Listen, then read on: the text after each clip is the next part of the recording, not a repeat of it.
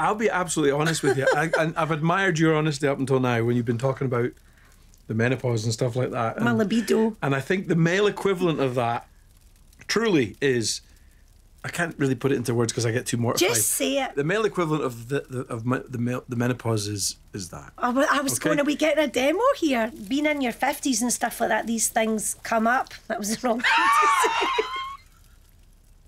I remember the first time I ever happened across this wonder drug, Viagra, and it was magic. Although I remember feeling a bit hurt, like, oh no, guy doesn't fancy me anymore. And I think women do think that when the Viagra packet comes out and you're like, oh, but actually, getting amongst it. I've got plenty to say about this goddamn thing.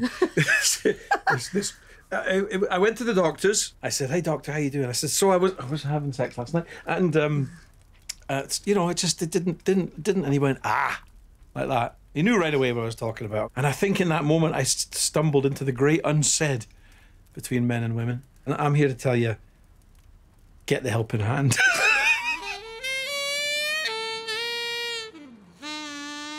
As long as people don't think we're flipping. Remember years ago, Sting and his wife totally were doing that. oh.